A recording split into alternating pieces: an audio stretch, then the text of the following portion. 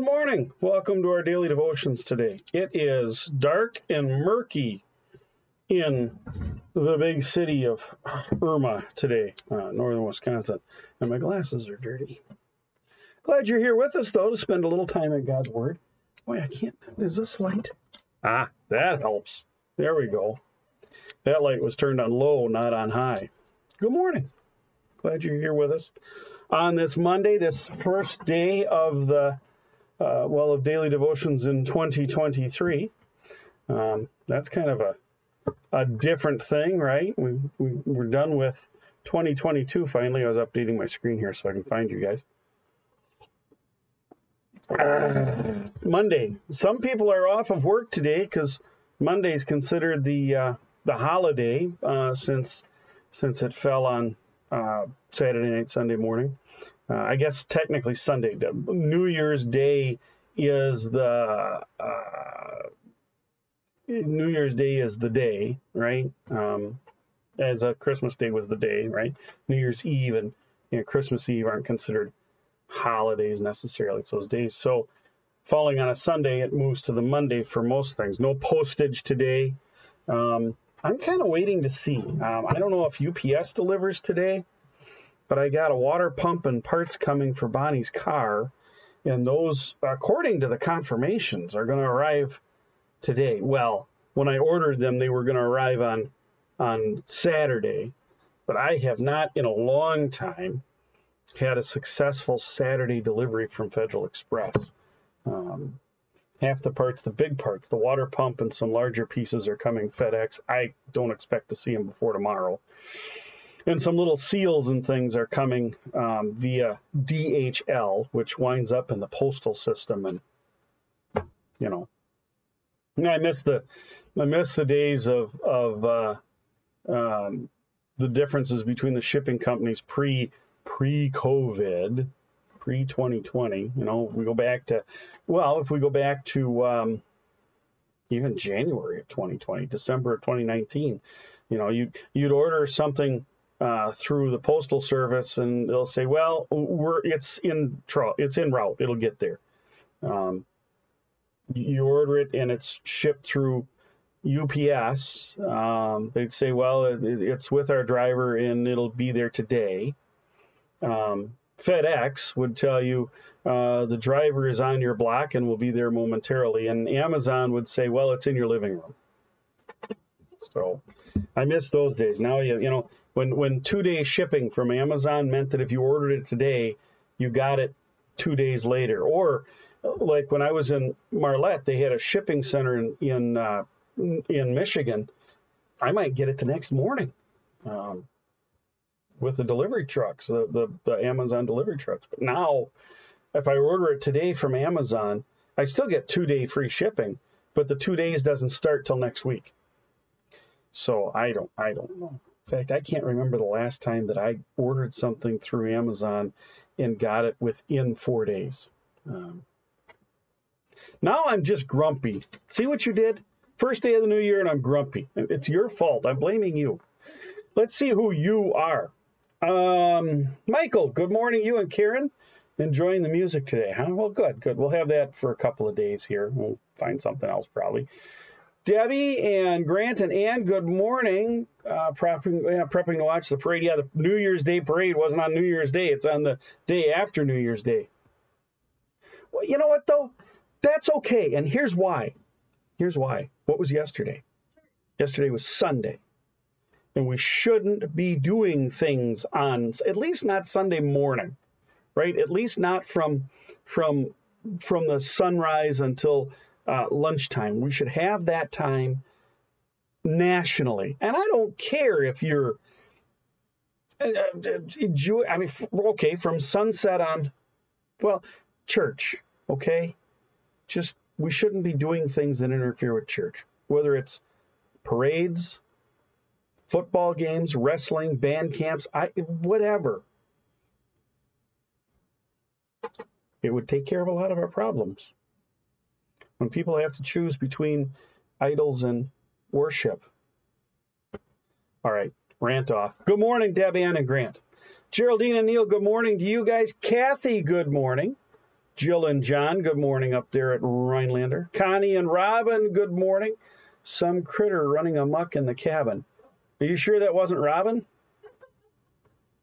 Is your is your uh, weasel back again? Verna, good morning. Jerry, good morning to you. Now I'm going to refresh again here and just make sure that I didn't miss anybody. I still haven't gotten to the bottom of this. Uh, yep, see, I did. I, I, haven't gotten to the bottom of this. Why um, things aren't coming. Ashley, good morning. Uh, Steve, good morning to you. To Sharon if you're nearby her. Renee, good morning. That should be everybody, although other people may come in later. Good morning to all of you. Good morning to uh, those watching in the background but not saying anything, and that's okay. Good morning to you. And to those watching later today, whether it's Facebook or YouTube. Good morning, God's blessings, and welcome to 2023 with Pastor's Daily Devotions. I am dressed in casual. I like I'm, I got my shirt that I that I have protected from Bonnie for another year. I got a I, I got a blue flannel shirt from well through through Ann from my brother-in-law Glenn here uh, last summer one day, and it's okay, but it's not broken in to fit me. This one I've been wearing this one for boy I bet you I've this is wool. Um, it, it's insulated, but it's also wool.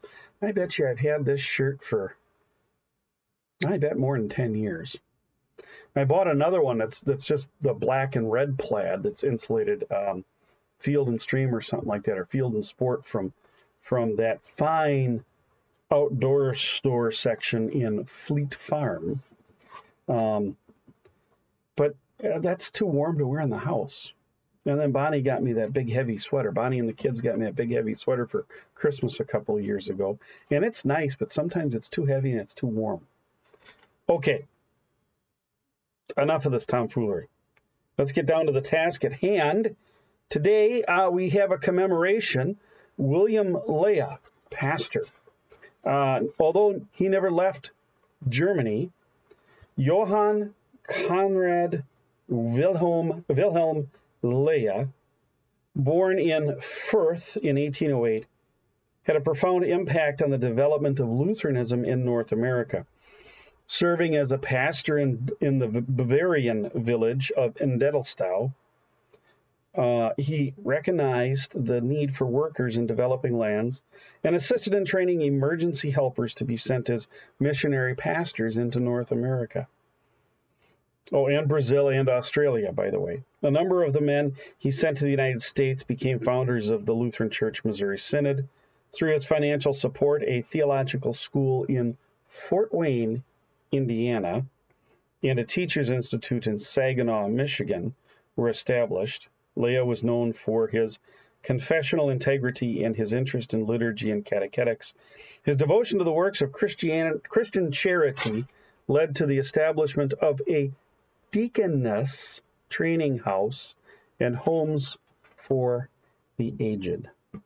Uh, so yeah, the as as as Lutheran pastors, confessional German pastors were being trained in the United States, there was a seminary set up at uh, Fort Wayne um, through through the work of Wilhelm, Wilhelm Loehe, uh, which um, is not where the seminary is now. I believe it's where Ivy Tech College is.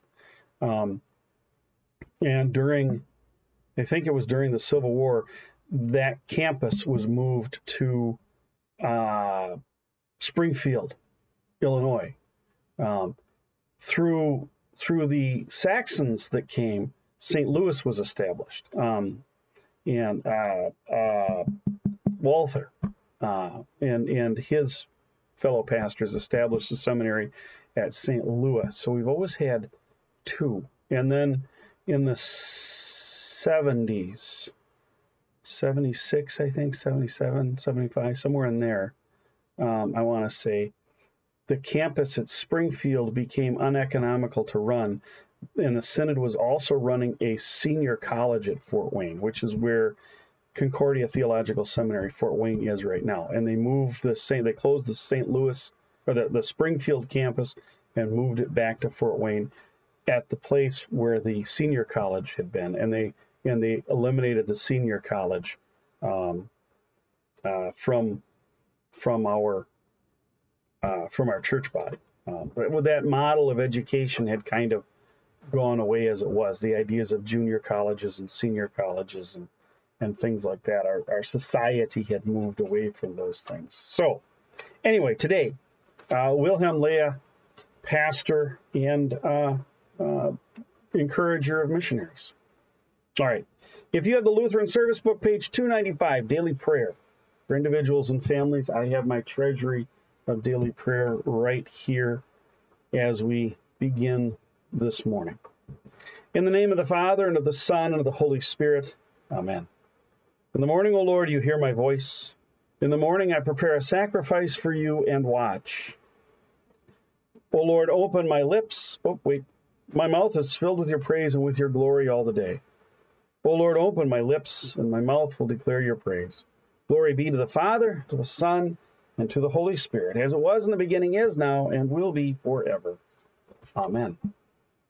Sometimes you got to stop and look at the pages.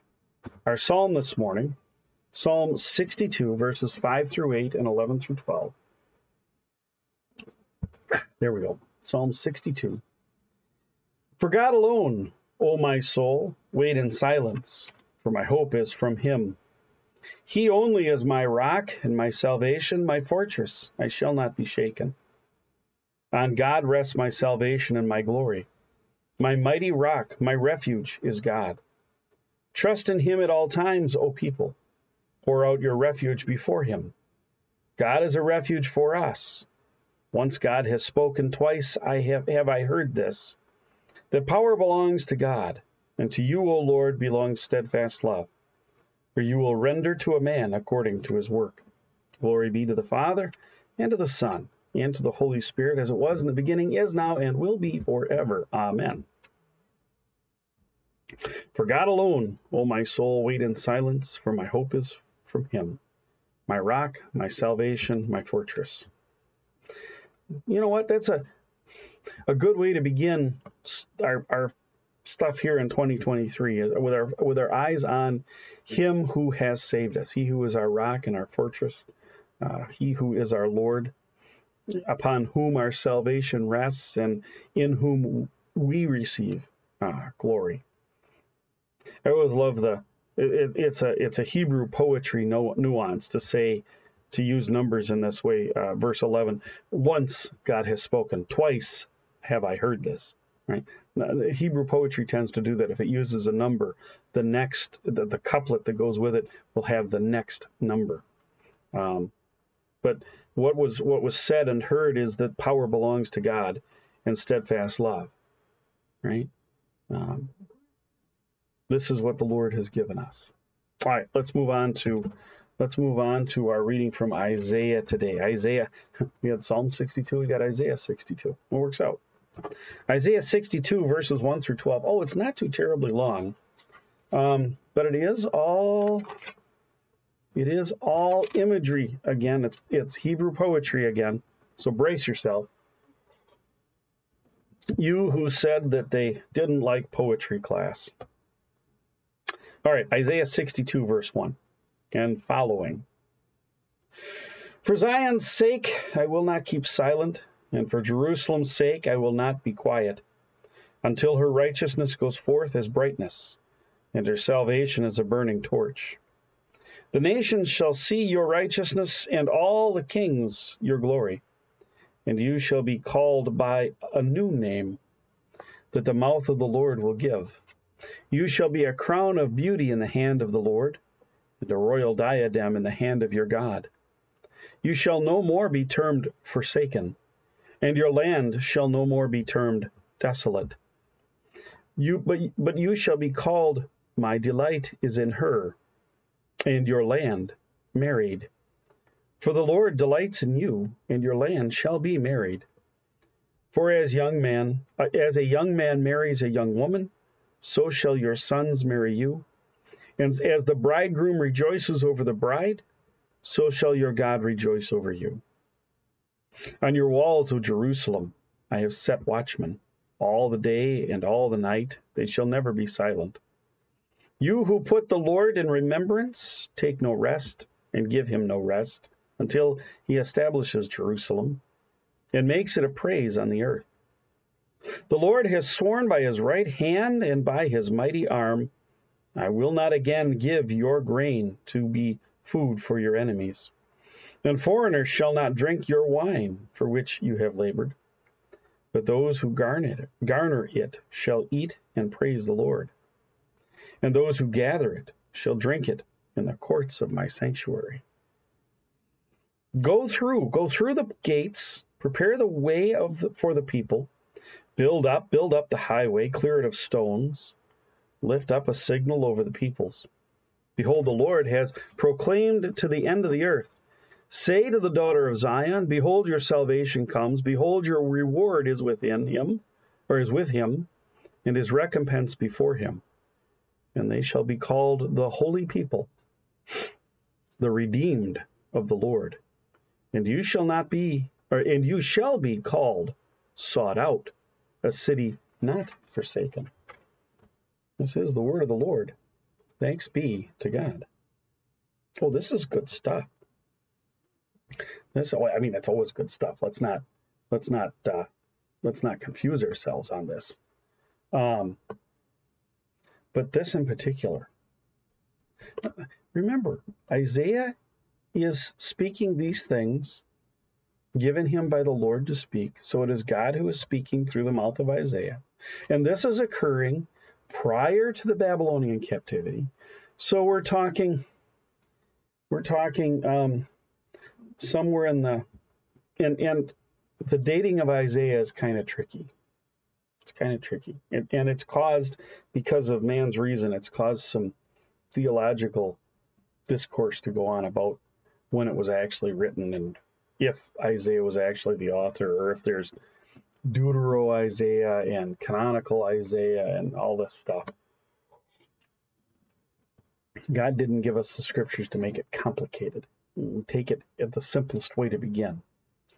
Um, so the Lord does not keep silent. For Zion, Zion's sake, I will not keep silent until her righteousness goes forth as brightness and her salvation as a burning torch. Now, uh, hear this, hear this. You shall be called by a new name. The faithful to God until this time have been called Israelites. Well, they went through Hebrew uh, and then Israelite. And then, as those from Judah are taken into the Babylonian captivity and taken over to Babylon, when they return, they return to Judah. And during that time, they've been called the Judeans, which becomes Jew. Okay? Um, but they will have a new name that the mouth of the Lord will give. And you shall crown, and, and you shall be a crown of beauty in the hand of the Lord and a royal, di- royal diadem just another word for crown. It's that it's that leafy crown that the Romans have uh, in the hand of your God. No longer forsaken, no longer desolate, but my delight is in her and your land married. The new name is Christian. Follower of the way initially, but Christian in Christ. Those who are in Christ. It's a new name, right? Didn't exist before the Lord gave it to us. The Lord gave it to us through through through Christ right? Um, and and the the the relationship of God to His people in the Old Testament is that of creator and created, or of God and and and uh, faithful, uh, or as husband and wife at times. Um, but in the in the New Testament, in, in the work of Christ, we become the bride of Christ, right? And he, our bridegroom, the groom. Um, and so this is this is a foretelling of what comes, right? Um, so your sons shall marry you, and and as the bridegroom rejoices over the bride, so shall your God rejoice over you. He rejoices over us in faithfulness, in, in what, what he has accomplished for us. Now, wait, um, this is not over. I will not give your grain to be food for your enemies, and foreigners shall not drink your wine for which you have labored. Now, uh, but those who garner it shall eat it and praise the Lord, and those who gather it shall drink it in the courts of my sanctuary. Now, this is me. I haven't researched this, but as I was reading this, I'm looking at this. I'm going, well, what is grain? How do you eat grain? Well, you don't, as a rule, you don't take grain out of the field and just eat it, right? You make bread. So if you're going to eat your grain, you're going to eat bread and the wine that you drink, right? Well, what are those? Those are the elements used in the Holy Supper of Christ, right? The, the, the sacrament of the altar, the Lord's Supper, communion, Eucharist, whatever name you want to place upon it, bread and wine that is now his true body and blood, eaten by those in the sanctuary, right? This is a this is a, a, a early statement of why the church practices what's called closed communion. Not close, there's no such thing as close. That's something that came out of ecumenical discussions, and it's wrong. Communion's either open or closed.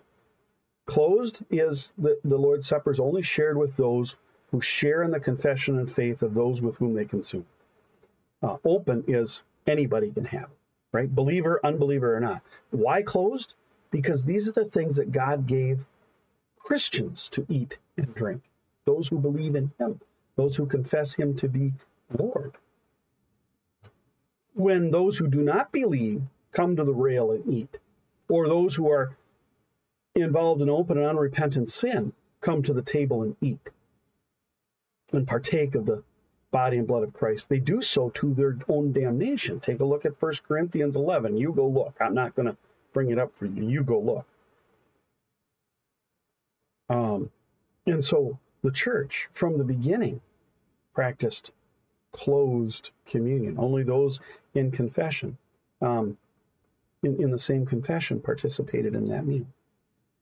I will not again give your grain to the food of your enemy. And it, it's not a matter that that if somebody doesn't believe, then they don't receive it. No, because God didn't say, well, this is so dependent on your belief, on your faith, this will be what I say it is. No, he said, this is my body, take and eat. This is my blood, take and drink.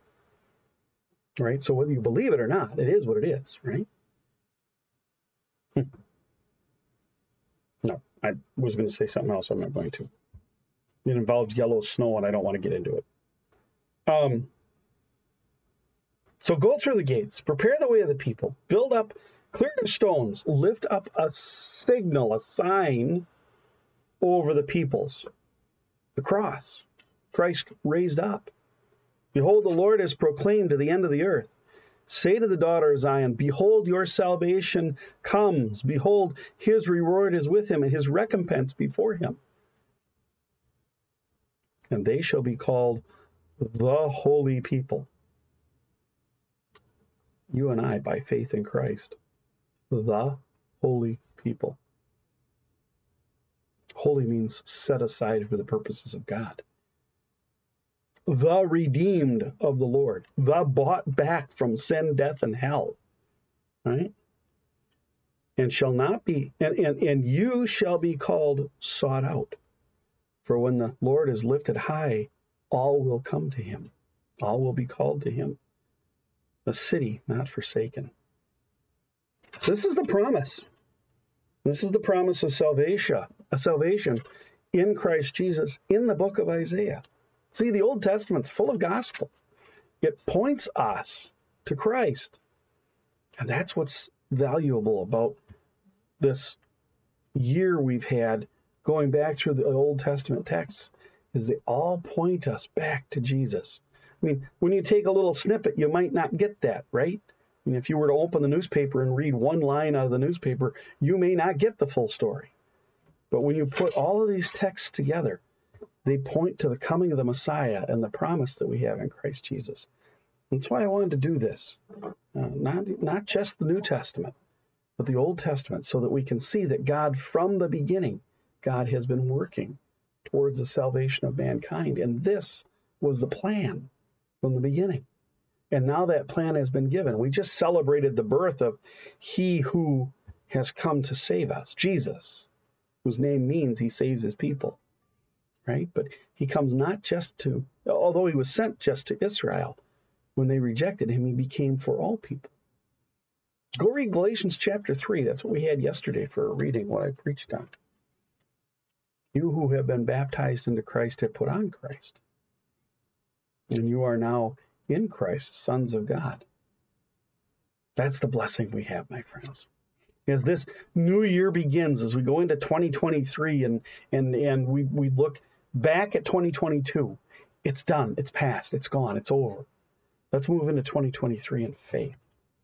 Let's look towards He who has saved us. Let's let's look not to being a, a, a place called a, a place called uh, forsaken and desolate, but that we be called, My delight is in her and Mary, and that we be the city sought out, a place not forsaken in Christ Jesus our Lord, of which you are part as a holy people to your Lord. Amen. Let's look to our prayer of the day. Doing a lot of pointing today. You know what's fun is this uh, when you point on a camera, right? You know, if I came and pointed in your face, it wouldn't be like this, but in the camera, it's like, whoa. Let us pray. Most glorious Trinity, in your mercy, we commit to you this day our bodies and souls, all our ways and goings, all our deeds and purposes. We pray you so open our hearts and mouths that we may praise your name, which above all names alone is holy. And since you have created us excuse me, created us for the praise of your holy name. Grant that our lives may be for your honor, and that we may serve you in love and fear. For you, O Father, Son, and Holy Spirit, live and reign, one God, now and forever. Amen. And I'm going to have a sip of coffee here. And we continue with the Apostles' Creed. I believe in God, the Father Almighty, maker of heaven and earth and in Jesus Christ, his only Son, our Lord, who was conceived by the Holy Spirit, born of the Virgin Mary, suffered under Pontius Pilate, was crucified, died, and was buried. He descended into hell. The third day he rose again from the dead. He ascended into heaven and sits at the right hand of God the Father Almighty. From thence he will come to judge the living and the dead. I believe in the Holy Spirit, the holy Christian church, the communion of saints, the forgiveness of sins, the resurrection of the body, and the life everlasting. Amen. And we are bold to pray as our Lord taught us. Our Father who art in heaven, hallowed be thy name. Thy kingdom come, thy will be done on earth as it is in heaven. Give us this day our daily bread, and forgive us our trespasses, as we forgive those who trespass against us. Lead us not into temptation, but deliver us from evil. For thine is the kingdom, the power, and the glory, forever and ever. Amen. And we begin a new cycle of weeks here on this first Monday in January. Uh, Monday morning's prayer, the, the first week of prayers focus in on petitions that, that come that are that come from the Lord's Prayer. So today, thy kingdom come. Lord Jesus Christ, Son of David, your eternal throne in heaven fulfills the promise made to your father David. The visions of Holy Scripture depict that throne in utmost glory Yet you arrived at your heavenly coronation by way of humility, meekness, mercy, and grace. You were born not in a palace, but in a low estate. You rode no war horse into the city of Jerusalem, but a humble donkey, as Solomon before you. In love for your own people, you submitted to the earthly authority of Pontius Pilate, and were crucified with a crown of thorns and purple robes and mockery. Yet how true were the words posted above your crucified head Jesus of Nazareth, King of the Jews. Now you are risen, ascended, and reigning with all authority in heaven and on earth. As my heavenly King, send your word and spirit to conquer whatever regions of my heart have I have withheld from the righteousness and reign of your kingdom of grace. With your wisdom that exceeds that of Solomon, rule over my mind, which is darkened by worldly thoughts. In your goodness and love, direct and order all my ways, that I may sincerely believe and live a godly life before you this and every day. In your name I pray. Amen.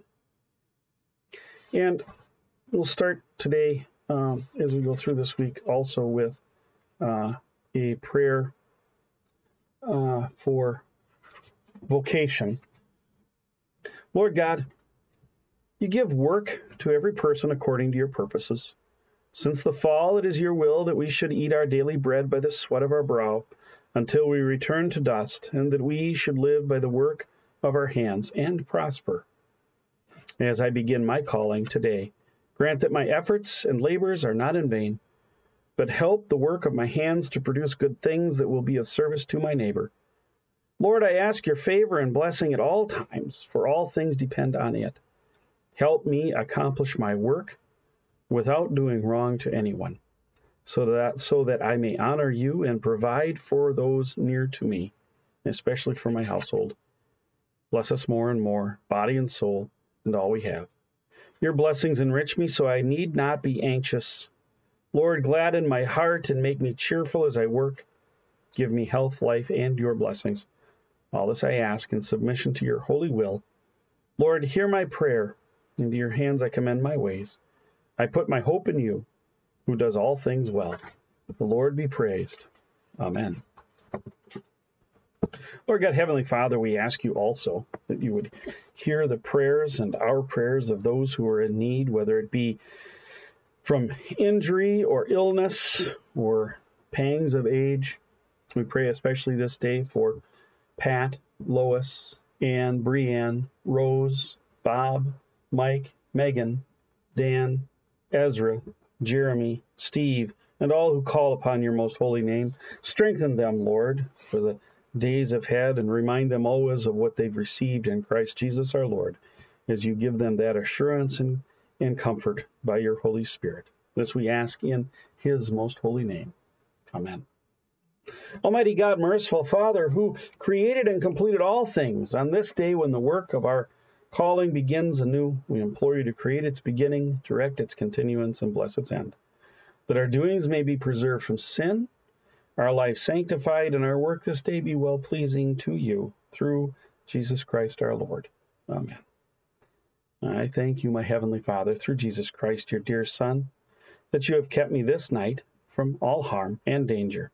I pray that you would keep me this day also from sin and every evil, that all my doings in life may please you.